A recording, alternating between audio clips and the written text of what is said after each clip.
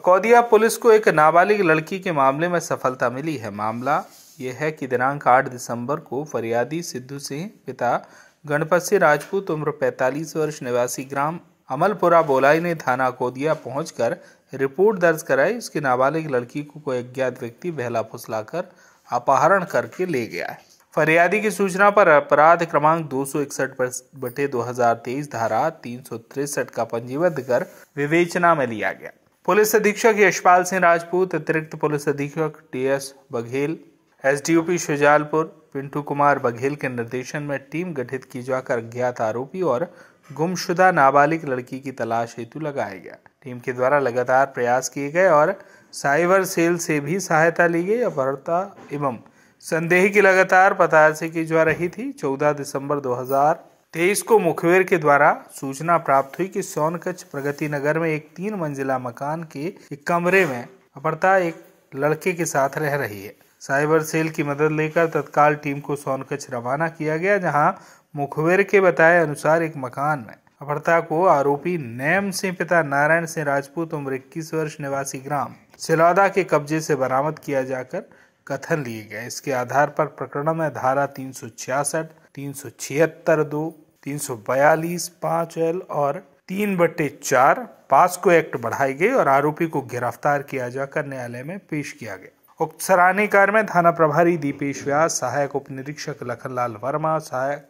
महिला सहायक उप निरीक्षक राम विश्वकर्मा, प्रधान आरक्षक विपिन सिंह तोमर, आनंद शर्मा, आरक्षक होकम, रवि रघुवंशी एवं साइबर सेल के प्रधान आरक्षक विकास तिवारी, आरक्षक अनिल सक्सेना और राजेश दांगी की महत्वपूर्ण भूमिका रही। दिनांक आठ बारह तेईस को ग्राम बोलई के सिद्धू सिंह राजपूत के द्वारा रिपोर्ट की थी कि उनकी नाबालिग बालिका बिना बताए घर से चली गई है। उस पर से अपराध क्रमांक दो सौ इकसठ धारा तीन सौ तिरसठ भागी का कायम किया गया था, जिसमें लगातार प्रयास किए जा रहे थे। श्रीमान पुलिस अधीक्षक महोदय साजापुर, श्रीमान अतिरिक्त पुलिस अधीक्षक महोदय साजापुर, एवं श्रीमान एसडीपी महोदय सुजालपुर के द्वारा नाबालिग लड़कियों को दस्तियाब करने के संबंध में निर्देश दिए गए थे टीम गठित की गई थी। टीम के लगातार प्रयास किए जा रहे थे टीम द्वारा, जिसके दौरान जो है कल रात्रि में हमें सूचना मिली कि जो है वो लड़की एवं जो अपहरण करने वाला नेम सिंह नाम का लड़का है,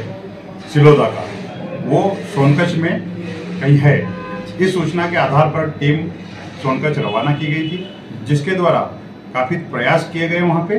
ज्योति नगर सोनकच्छ के अंदर जो है, एक बिल्डिंग के अंदर किराए के मकान में जो है, नेम सिंह सिलोदा वाला वहाँ पे उस लड़की नाबालिग के साथ मिला, जिसे लेकर के थाना आए हैं। लड़की को उसके कब्जे से दस्तियाब किया गया एवं आरोपी नेम सिंह को गिरफ़्तार किया गया है, जिसे न्यायालय पेश किया जाएगा। इस कार्य में मेरे साथ एएसआई लखनलाल वर्मा, प्रधान आरक्षक विपिन तोमर प्रधान आरक्षक आनंद शर्मा, प्रधान आरक्षक अपने साइबर सेल के विकास तिवारी, अनिल सक्सेना एवं राकेश, साइबर सेल के आरक्षक तथा आरक्षक रवि एवं आरक्षक हुकम की अहम भूमिका रही है। शुजालपुर से रमेश राजपूत की रिपोर्ट।